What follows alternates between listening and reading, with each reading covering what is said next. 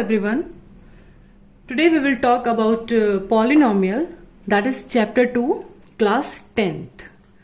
So first of all quadratic polynomial. This time our focus will be on quadratic polynomial. Quadratic means if the degree is 2. Okay so standard quadratic polynomial generally quadratic polynomial is denoted by ax square plus bx plus c means if you need to consider anywhere any quadratic polynomial so you will consider like ax square plus bx plus c. Now these coefficients these are very important.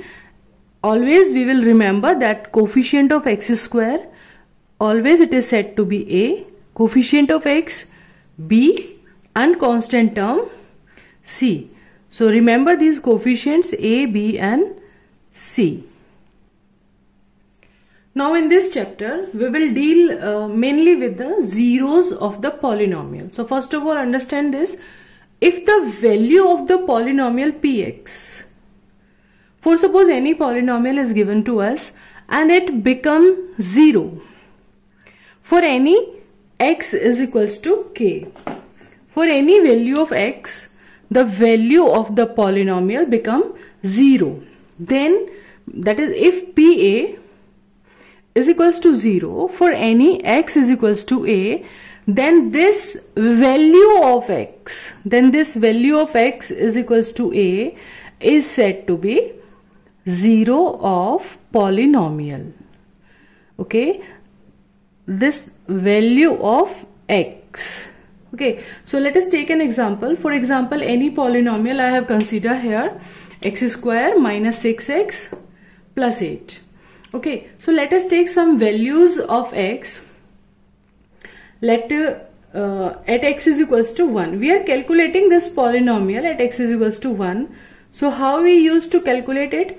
We replace x by 1 so it will be 1 square minus 6 into 1 plus 8 so value we are getting here 3 okay.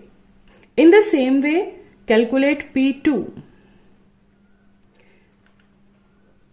Calculate the value of polynomial at x is equals to 2. So this time I am writing directly 2 square 4, 4 and 8, 12 and uh, 6 into 2. That will also, okay, uh, 4 minus 12 plus 8 so the value we are getting is 0. Okay, at 2, remember this, at 2 we are getting value 0. Let us calculate some more values. Polynomial at 3. At 3, the value of polynomial will be 9 minus 18 plus 8 that is minus 1 and in the same way the value of the polynomial we are calculating at 4 also. So we observe that uh, at 4 the polynomial again um, 16 minus 24 plus 8 if we are replacing x by 4 now then this value is also we are getting 0 okay so we have solved uh, P1, we are getting 3, P2 0, P3 minus 1, P4 0.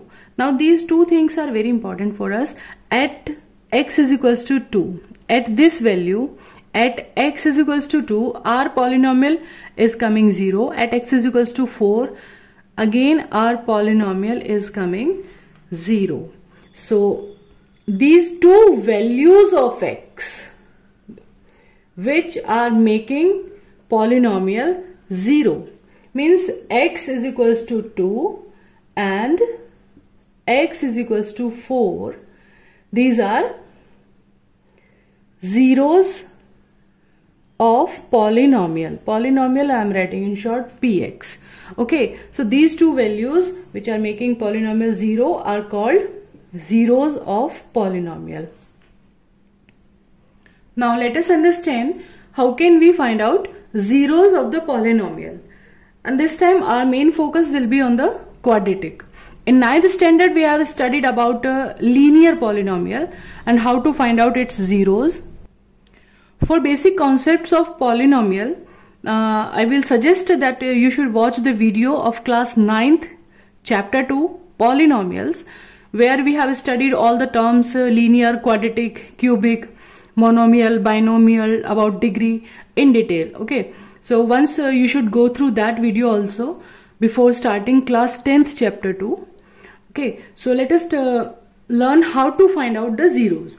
Mainly our focus will be on the quadratic polynomial. So what we have to do actually, we need to factorize the given polynomial either by using identity or by middle term splitting or by taking common by any of the method you have to factorize it okay so here I can see uh, that uh, only middle term splitting is uh, applicable and if you don't know the about middle term splitting then again also I will suggest uh, chapter 2 class 9th polynomial in which uh, I have explained middle term splitting and all the factorization method in uh, very detail.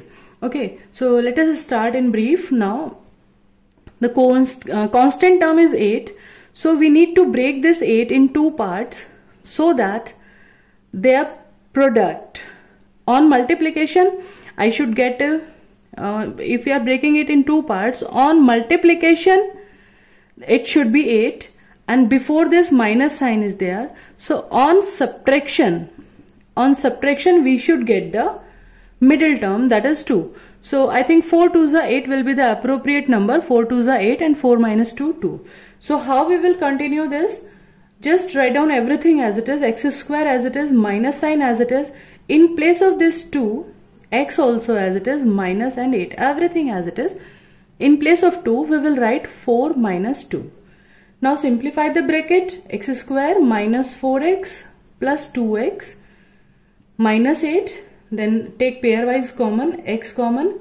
Here we will get x minus 4 then plus 2 common x minus 4 then take out this complete bracket x minus 4 and x plus 2 like this we are getting the factors of the polynomial. Now for zeros. To find out zeros your either this bracket should be 0 or another bracket x plus 2 is equals to 0 if this bracket 0 if this this 0 or this 0 if x minus 4 is 0 then we will get the value of x as 4 and if this bracket is 0 we will get x is equals to minus 2 so these two values if you calculate the value of the polynomial at 4 you can check it here. 4 4 is 16. Minus 8. Minus 8. You are getting 0. And uh, in the same way at x minus 2. Minus 2 square. Minus 2 square. Minus 2. Minus 2. Minus 8. Minus 2 square 4 plus 4 minus 8. At this value your polynomial is coming out 0. So to find out zeros we will factorize the given term let us take one more example like 4u square plus 8u and we have to find out the zeros. Here we can see only two terms are there. So middle term splitting will not be applicable. Any identity also uh, not seems to be applicable. Uh, common uh, we can take something. So let us take common if uh, I think 4 is common and u is also common. Let us see what will left in the bracket 4 we have taken out common u square u 1 u will left and then 4 2s are 8 and then u will come out. Now for zeros means for to get this whole polynomial 0 is ये पूरा polynomial 0 कब आएगा either this term should be 0 or this term should be 0 either u should be 0 the first thing is u and or the second thing is u plus 2 it should be 0 so u 0 is giving value itself and uh, from u plus 2 0 we are getting u is equals to minus 2 actually after factorization when you got two things in multiplication then we conclude either first thing 0 or second thing 0 because uh, product multiplication you have never heard any two uh, numbers any two uh, I can say for example any two number 5 multiply 3 is equals to 0 have you heard any time can the product of any non-zero number non-zero this is non-zero zero नहीं है ये भी zero नहीं है can the product equals to zero never to get the product zero one of the numbers should be zero hmm one of the numbers should be zero one zero and one non-zero they can give the product 0 that's why we consider either this bracket 0 or this bracket 0 ये product पूरा zero आने के लिए to get this whole product zero either first factor should be zero or the second factor should be zero now we can never get never get like this this is non-zero another term is also non-zero and we get the product zero this is not possible not possible this case okay so that's why we take one of the bracket 0 and uh, then uh, we find out the zeros of the polynomial. So in our next video, uh, we will verify uh, the relationship between coefficients and zeros.